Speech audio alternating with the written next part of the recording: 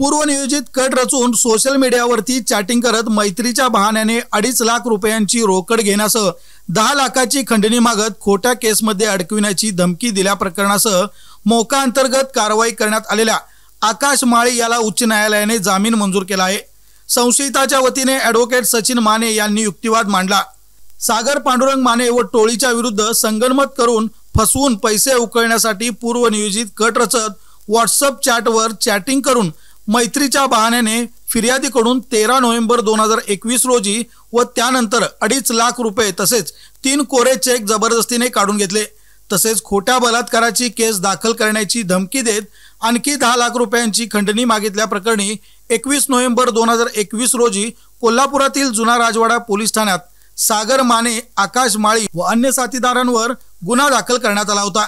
त्यानंतर सागर माने व टोळी विरुद्ध कोल्हापूर जिल्ह्यातील वेगवेगळ्या पोलीस ठाण्यात खून खुनाचा प्रयत्न जबरी चोरी खंडणी अपहरण असे गंभीर स्वरूपाचे गुन्हे दाखल असल्याने या टोळी विरुद्ध कोल्हापूर परिक्षेत्राचे विशेष पोलीस महानिरीक्षक यांनी मोका अंतर्गत कारवाई करण्याची मंजुरी दिली होती.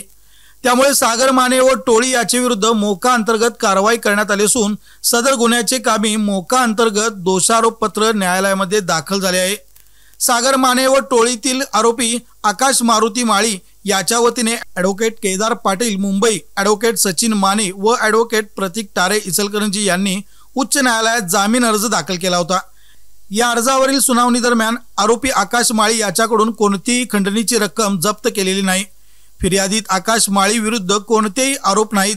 सदर आरोपी हा सागर माने या गुन्हेगारी टोळीशी संबंधित असल्याचा कोणताही पुरावा दोषारोप पत्रासोबत दाखल झालेला नाही.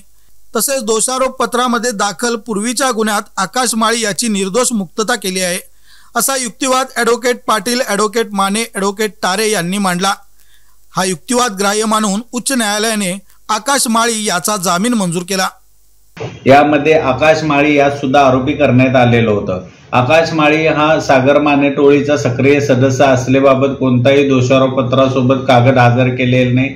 तसेच आकाश माळी याच्याकडून खंडणीची कोणतीही रक्कम जप्त झालेली नाही व फिर्यादीचे अवलोकन केल्यास आकाश माळी याचा या गुन्ह्यात सहभाग असल्याचे स्पष्ट होत नाही. या सर्वाचा विचार करून त्याला जामीन मिळण्यासाठी नामदार उच्च न्यायालय मुंबई येथे आम्ही जामीन अर्ज दाखल केलेला होता. व आकाश माळी याच्याविरुद्ध जे पूर्वीचा एक गुन्हा नोंद होता तो त्यात सुद्धा तो निर्दोष झालेला आहे. हा या सगळ्याचा विचार करून नामदार उच्च न्यायालय यांनी आकाश माळी या जामीन मंजूर केलेला आहे.